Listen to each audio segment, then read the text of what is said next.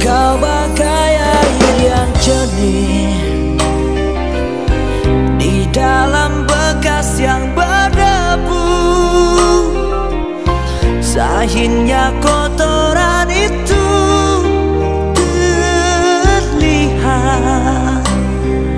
Kesucian terlindung juga.